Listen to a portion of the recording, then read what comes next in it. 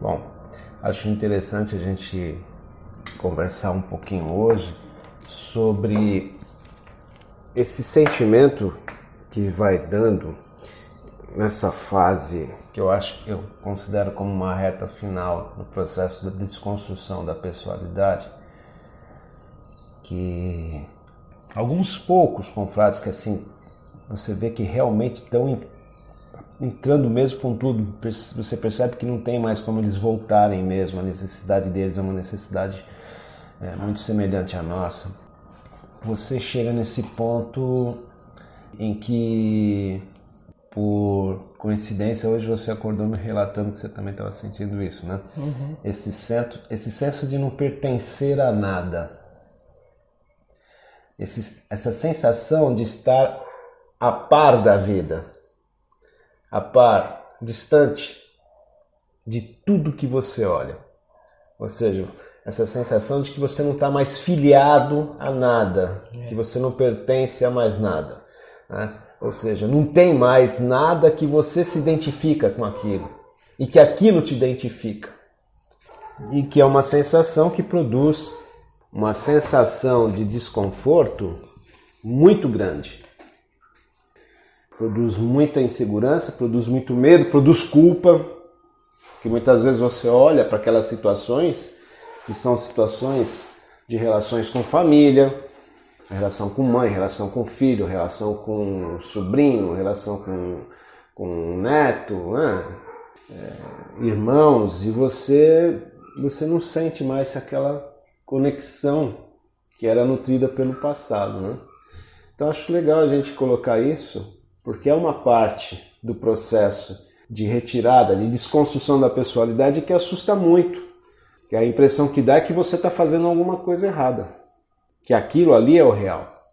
Que viver aquela pessoalidade é o real. É.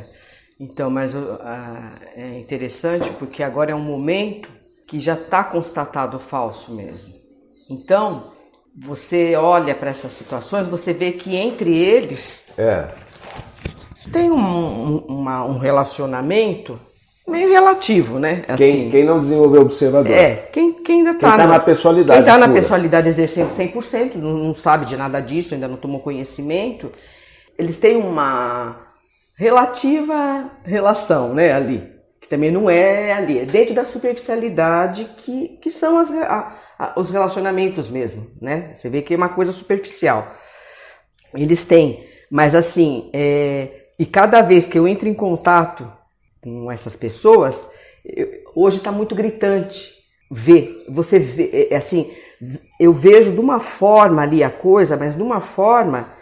Só que já não. A, a mente ela, ela, quer, ela quer dizer que eu que estou ficando maluca e não estou ali, vivenciando as mesmas coisas junto, né, com essas pessoas. Não vê mais graça, né? Mas assim, é. mas eu vejo, já vi o falso, já foi constatado. E cada vez que eu vejo, eu vejo mais ainda o falso das coisas. E qual que é o seu sentimento ao ver esse falso? Então, aí dá, dá assim, dá uma angústia, uma melancolia, porque a mente, a mente quer trazer o passado, né? Mas no passado era assim. Você foi nessa busca aí e se distanciou de tudo. Sim. Ela quer, ela quer justificar, como tudo, ela quer justificar. Né? Por quê? Porque ela percebe ela a morte iminente. Você voltar para isso. É, ela tá percebendo a morte dela, que tá ali, ó Tá, tá iminente a coisa, ela tá morrendo, né? Ela tá, ela tá ali em, em estado de agonia. Então ela quer, ela quer fazer alguma coisa para eu não perder. Mas não tem, já foi visto, não tem como voltar. Foi visto. E aí aquela coisa, é, eu me retirei dali realmente, eu não faço mais parte daquilo. Definitivamente eu não faço parte. E aí, assim, eu, eu nem eu, assim, quando, quando diz eu me retirei, dá a impressão que isso foi uma é, ação consciente. Não, não, não, isso, não, isso, não. Isso caiu aconteceu, por si só. Aconteceu. É. Aconteceu dentro desse processo aí, uma vez que você entra nesse processo, você vai vendo e as coisas. E não é que eu me retirei fisicamente. Uhum. Mas psicologicamente. Não tem mais identificação não, psicológica. É, psicologicamente. O físico está ali, você está ali em contato com as pessoas constantemente. Mas psicologicamente, é, é uma coisa assim, e aí dá aquela. Porque não faz sentido. É, né? dá, aquela, dá aquela angústia mesmo, aquela, aquela tristeza, aquela, aquele luto, que é a própria mente sentindo. É a própria Sim. pessoa que está É sentindo. a própria pessoa. Porque está morrendo as coisas dela. Aí eu, eu fiquei, é, hoje eu acordei muito cedo e fiquei, estava meditando assim, e veio, né, a mente trazendo. Hoje não tem ninguém que eu me relacione assim como eu me relacionava dentro da pessoalidade, exercendo a pessoalidade, manipulando aquela coisa toda assim, conscientemente ali, é, não tem, não tem mais. Porque antes era dentro de uma inconsciência, uma coisa. Então hoje assim, quando você está se relacionando é muito pouco e aqui é muito silêncio, eu fico muito quieta dentro do, do, dos, dos, desencontros que existem, né? Sim, porque toda, toda a conversação deles é em cima do transitório. É. E assim, eu não vou desfazer do que eles estão falando. Eu não posso fazer isso também, não tenho esse direito, porque eles estão vivendo o momento deles. Eles estão plenamente identificados com isso. Mas o transitório. Eu, é, então eu prefiro ficar em silêncio. Porque antes eu debatia, eu discutia. Eu jogava o, a acidez, o amargor. É, o, o observador ácido entrava e eu isso. jogava toda aquela acidez, aquela, aquela coisa lá, né? É, que também é falso isso. É que é falso também. Então, é. É, hoje eu fico, eu fico, respeito o que eles falam, às vezes eu falo alguma coisa dentro daquilo que está sendo falado e tal, mas assim, é, daqui não sai nada, né? Daqui de mim. O que eu, tenho que, o que eu teria que falar mesmo também não, não, não convém. Não tem nada a ver eu falar dentro dos ambientes. Sim. Né? Porque não, não diz respeito. Fica só um olhar. É, fica só. Sensível, passivo, penetrante. É, não passivo, reativo. não reativo. Certo? Olhando, né? Só olhando e o silêncio. É, é e evito criticar, porque às vezes também vem aquela, aquela, aquela coisa de você criticar. Aí, aí nesses momentos também vem muitas vezes a pessoalidade e diz que, ah, mas isso aí você não está vivendo. É, então. Certo? É, é. Você não está falando nada, você não está participando, você está entrando mudo, saindo calado. Isso não é viver, porque a medição Ela vê, dela é a medição. é dentro da pessoalidade. É, dentro Ela está sempre parâmetro. medindo. Ela acha que aquela euforia sistematizada que quem está na pessoalidade está vivendo e que acredita que essa euforia é alegria, é felicidade, e você não está mais tendo isso porque você já viu o falso, aí ela fala que você não está vivendo. É. Ela fala assim, ah, você está a par de tudo. Não, simplesmente não consegue perceber o que está acontecendo, é que está morrendo mesmo a identificação com o falso. Porque É. assim, está instalando uma lucidez que mostra que isso não leva a nada. É. E quando eu falo que, quando eu falei que as relações que eu tenho, é, que eu estou me retirando, essa coisa da- da pessoalidade, a pessoalidade está aqui também ainda, a pessoa está aqui, só que não está sendo alimentada. Como está sendo visto, não está sendo alimentado. Então, é, às vezes, essas próprias conversas de massagear ego, toda essa conversa que tem geralmente quando você tem ali um vínculo, uma coisa, Sustentação da Susten- imagem, é, uma- né? é- é o que mais sustentava essa imagem, essa pessoa. Então, o fato de você não estar alimentando já é, né? Você já não está. Então, assim, é, não, tem, não tem como. Sim. É o que eu estava vendo. Aí, aí não ficou ninguém, não ficou ninguém. Ah, quando eu falo que não ficou ninguém dentro da pessoa para alimentar a pessoalidade, foi justamente dentro dessa questão, né? Que assim, as pessoas que que que estavam, que estão ainda nisso, né? Que estão ali na totalmente na pessoalidade. Quem está no processo junto dá para você trocar, né? Aí você troca, mas num outro nível, não nessa questão de, de ficar alimentando o pessoal é, que eu vejo que a importância que tem, por isso que é a, a importância a gente ter pessoas para trocar sobre esse, esse processo, que não é fácil, né? Para. Mas até essa necessidade tem que cair. É, é, mas isso é muito. Porque isso também é superficial. Mas é no início, é no início. No início é. a importância, tem uma importância de você trocar ali e tal, mas chega um ponto que por si só você percebe que não, também não, é- não tem mais necessidade. Se ocorrer um contato, beleza. Se não, não tiver, tá tudo certo também, porque hoje eu fico tranquila comigo mesma. As, mesma gente, às vezes a gente fica o dia inteiro, eu fico num canto, você fica no outro, cada um fazendo o teu, né? Às vezes a gente está conversando com alguém, sempre está conversando com alguém, alguém sempre pedindo apoio e tal. A gente conversa tal. E depois que a gente vai fazer, um, tem ali um, de vez em quando, ali no, no- no meio do dia É e tal. quando a gente grava É. esses áudios. né? É, ou assim, né? Tem, mas é muito pouco. A maior parte do tempo a gente está com a gente mesmo, né? Eu acho que isso, isso daí é, é- é o que representa aquele arquétipo que vem do cristianismo. Fala assim: o filho, o filho do homem não tem onde repousar sua cabeça. né? Eu trago para a nossa linguagem assim: o filho do observador. não tem onde mais repousar sua cabeça porque ele percebe que está tudo na transitoriedade. Está é. Tá tudo em cima do efêmero. Está tudo em cima da alimentação da pessoalidade, da sustentação do processo formador de imagem. Então não dá para ele encostar a cabeça dele, por quê? Porque ele não encontra mais ressonância disso, não tem, ele não encontra cabeças que dá para encostar e falar sobre essa necessidade é. da transcendência da pessoalidade. Então assim, é, você vê caindo tudo e chega um determinado momento que esse observador fala assim, caiu tudo, caiu tudo. Caiu tudo que é falso. Uh -uh. Não caiu tudo caiu, que é não, falso. Caiu não, senão você já tinha. Veja bem. claro que não. A fonte de todo falso ainda está aí. Está aí. Porque não tem nada falso. O que tem de falso é o observador. Sim. Que o observador é a pessoa numa outra, num outro estado. Sim. Ele saiu daquela, daquele estado da pessoa inconsciente, inconsequente, impulsiva, reativa, e entrou agora essa pessoa com um olhar da razão. É. E a razão impede de ser impulsiva e emotiva. Mas é a pessoa, o observador é a pessoa. É a coisa certo? observada, com certeza. Então, esse observador é a exata natureza de todo falso, porque o olhar dele ainda não está conseguindo ver a exata natureza de tudo aquilo que ele está vendo e nomeando de falso. Sim e nomeando de efêmero, e nomeando de transitório. Ele ainda é falso. Esse observador ainda é, é porque ele falso. se vê separado da, da pessoa. Ele se vê separado, ele se vê como se ele fosse algo superior. É. Ele só tem um esclarecimento a mais. É. Mas ele foi constituído nas bases da própria pessoa. Sim. De tudo que a pessoa viu, ele foi construído. Sim. Ele foi construído ali, ali daquela ele, mesma. Ele vê ele vê que não faz sentido nenhum estar 100% na pessoa, mas ele ainda quer estar algum por cento na pessoa. Sim, ele ainda está tá ali peneirando, é. né? Ele critica a pessoalidade, é. que é um absurdo estar 100% na, na, na personalidade, mas ele ainda é mas a personalidade. Ele é a personalidade. É só você dar uma pisadinha no dedão Mas é dele, óbvio pisa no dedão para você ver se, se, a personalidade não a sabe. A acidez já vem com né? tudo. Né? O observador é simplesmente a personalidade em stand-by. Sim. O observador é isso, ele simplesmente põe a, a personalidade em stand-by. Mas vira e mexe, ele sai e volta para o estado é, ele é a pessoa. Ele é a pessoa educada. Então, assim, da personalidade para o observador, existe uma passagem. Sim. Como existe uma passagem do observador para a pessoalidade.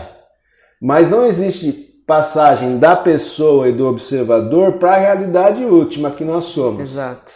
Agora, se, segundo esses homens e mulheres, e dentro da própria vivência que nós tivemos dessa impessoalidade, do transpessoal, dos vislumbres que nós tivemos, ou seja, em, adentrou nisso, e isso tem como voltar no, no observador e até mesmo na pessoa. Oh. Agora, nem a pessoa, nem o observador tem como adentrar nisso. É.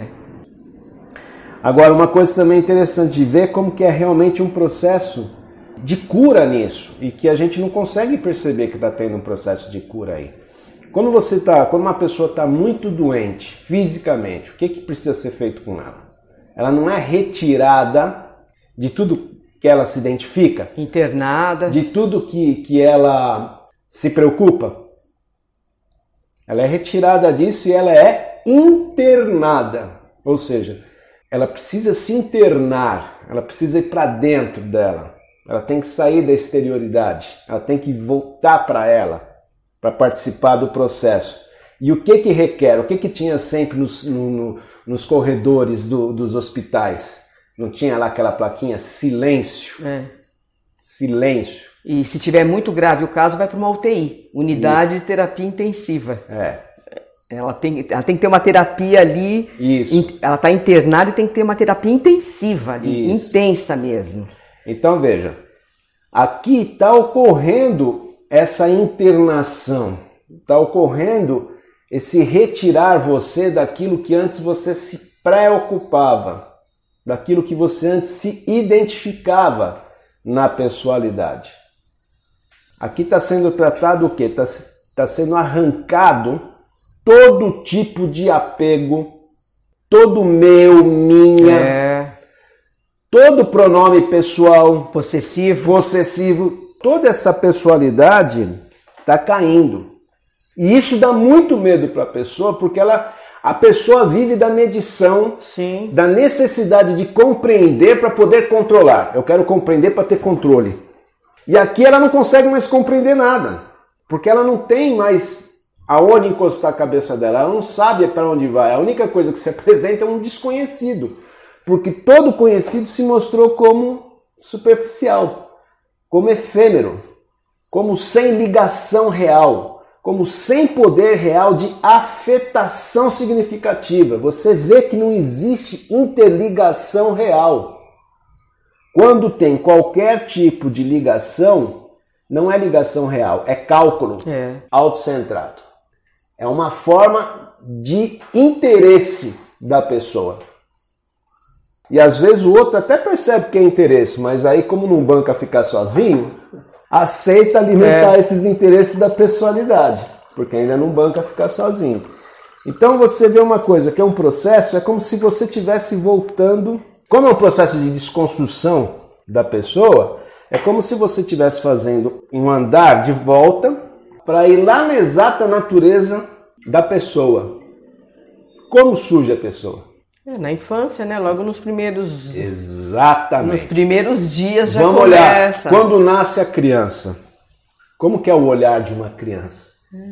Não existe olhar tão penetrante. Pura graça. Não, não existe olhar tão penetrante, com tanto brilho e vida como o da criança. A criança, antes dela falar, antes dela, antes dela começar a conhecer o próprio corpo dela, ela é observador, ela é observação pura. É. É o novo. Ela é sens- extremamente sensível a tudo. Extremamente sensível. Aí quando ela começa a identificar, a primeira identificação é com o corpo. Aí depois ela começa a se identificar com os objetos. Quando ela se identifica com os objetos, ela quer se exteriorizar cada vez mais. Ela quer conhecer o desconhecido, ela quer ir para o externo o tempo todo. E aí começa a criar a ideia do meu, minha, minha mãe, meu pai, meu brinquedo, minha bola, minha boneca. Começa a separação. E logo de cara já começam os pronomes, os pronomes possessivos Isso, e isso. pessoais, né? Eu, você, aí começa. Ela é reativa, ela briga, ela bate, ela xinga. né? Começa ali. Logo ali. Primeiro ano, até os três anos, é que está formando toda essa estrutura da pessoa. Com sete anos, ela já está com uma pessoazinha formada, pode ir até para a escola, inclusive. Hoje, Até antes, seis anos. até antes, já está indo. Está acelerando Primeira esse processo série. de pessoalidade por causa das creches, tudo aí, certo? Então você vê, a gente também vai fazer o mesmo caminho. Por isso que fala, se vocês não se tornarem como crianças, vocês não entrarão no reino do transpessoal. É. Porque essa criança antes da formação da pessoa. Vou fazer um caminho de Tá? volta. Como que é essa criança antes da formação da pessoa? Ela é só silenciosa, observação passiva. É. É não reativa. Antes de entrar o se- sensorial, Certo, né? ela só Você vê é- que depois que entra o Ela sensorial. só é reativa se está oferecendo perigo ao corpo. Então a criança reage, porque é a própria natureza defendendo o corpo para ter continuidade da, da vivência, certo? Então a mesma coisa, a gente tem que ir nesse, né, nesse estado, passar e ver morrer toda a pessoalidade e entrar nesse estado. Porque nesse estado da criança, que ainda não se identificou, não existe minha mãe, meu pai, meu brinquedo, minha casa, meu país, minha religião, meu Deus. Não tem nada disso. Meu sexo, meu gênero sexual, não tem nada disso. Não existe isso. Ela está integrada com tudo e ela é tudo. Ainda não surgiu um senso de eu, um Uhum. senso de pessoa. Então aqui é um momento assim que meu, tá- realmente está sendo retirado tudo. Está sendo retirado tudo e você não sabe o que, que vai dar. Não dá para conjecturar. Não. Não dá para você conjecturar sobre o desconhecido. Não dá para saber o que, que o desconhecido fará de tudo que você conhece. Então aqui é um momento assim que causa uma inquietude fora do comum. É. A pessoa cria essa inquietude por quê? Porque na inquietude, se você reagir à inquietude, você vai para o externo. É. É que é o que a pessoa aprendeu com outras pessoas, com outros adultos adulterados, que na, primeira inquietude da criança já mete uma chupeta com melzinho na boca, mete o bico da mamadeira, mete o peito, põe o celular na mão, põe um brinquedinho é. na mão e aí ele essa pessoazinha já vai acreditando que deu inquietude, corre para alguma coisa. Corre para alguma coisa que te dá prazer. Então aqui, nesse momento que está sendo retirada a pessoalidade, a pessoalidade vai pular. Leva você a níveis de ansiedade é em que você não cabe dentro de você, você quer sair de dentro do corpo. Quem está sentindo isso é o corpo. Sim, é uma coisa que foi muito bem observada também que está sendo, que é, é tudo está no corpo, está tudo no corpo, tudo, tudo que você sente está no corpo. É esse sensorial é, é impressionante, tudo, né? Você vê, você vê, você, você toca, você tem o paladar ali, você, né? A, sensa, a sensação de saciação, né? Aquela coisa de, saci... de ser saciado, né? De ser saciado. De ser preenchido. É. Só que, meu, não adianta. Não nada adianta. do que tá aí vai preencher. Isso aí já tá, tá muito, muito claro, certo, tá muito, muito claro. claro, muito claro. Então veja aqui, uma coisa para quem está vivenciando isso, uma coisa que precisa ficar claro: perceber que você não é o imaginal e o sensorial e nem os sintomas corporais. Sim. Nem as sensações, que é outra coisa interessante. Essa pessoa, ela cria até a somatização no corpo, porque você ainda está identificado com o corpo, aí você fica super preocupado. Ai, minha boca encheu de ferida. É. Ai, o que é essa espinha? Ai, o é. que é isso aqui? Ai, essas dores lombar. Ai, ai, ai. E aí a pessoa entra e se alimenta dessa identificação com isso que ela está criando no corpo para ela ter nutrição ali. Então, é que é uma assim, distração da esse mente aqui também. É isso não significa que você não tem que dar a devida claro, atenção ao corpo. Claro. Veja. Tem que ter um cuidado. Não pode elevar a sério nada disso. Tem que perceber que são, são somatização do processo. Está mudando toda uma carga química do teu organismo. Toda uma carga hormonal está ten, sendo alterada no seu organismo.